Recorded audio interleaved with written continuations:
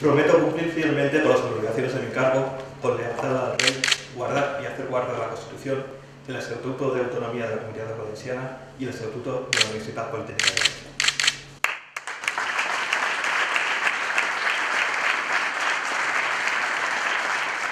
Fue un, apoyo muy mayoritario, estamos pues, muy contentos del resultado. Es todo un reto, pero también una oportunidad para ver si conseguimos mejorar todavía más nuestro centro, la escuela.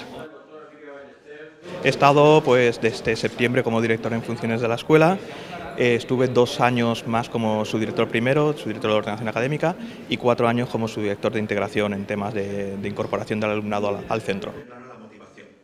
La prioridad es la excelencia internacional. Eh, tenemos los sellos de, de para todos los títulos de grado y vamos a estar trabajando para los títulos de máster, para todos los títulos de máster del, centro. Eso es prioritario también, mantenemos una estrecha relación siempre con la delegación de alumnos de la escuela y siempre que hay cualquier problema, cualquier incidencia, bien rápido, lo arreglamos lo, en el menor tiempo posible.